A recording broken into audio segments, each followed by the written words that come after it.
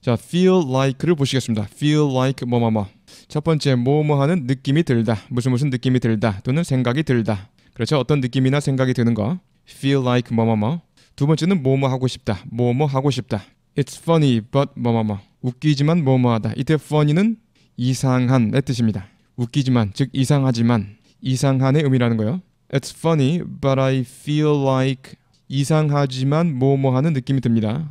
It's funny but I feel like I've met you before. 당신을 전에 본 적이 있다는 생각이 듭니다. It's funny but I feel like I've met you before. It's funny but I feel like I've met you before. 그 다음에 I feel like soaking. soak는 물에 담그다, 푹 적시다란 뜻입니다. I feel like soaking in warm water. 따뜻한 물에 푹 담그고 싶다. I feel like 그 다음에 동명사 오는 거야. I feel like soaking. I feel like soaking in warm water. 그 다음에 I feel like a drink. 이렇게 명사도 가능하겠죠. I feel like a drink. 한잔하고 싶다. I feel like a drink. I feel like a drink. 한잔하고 싶다.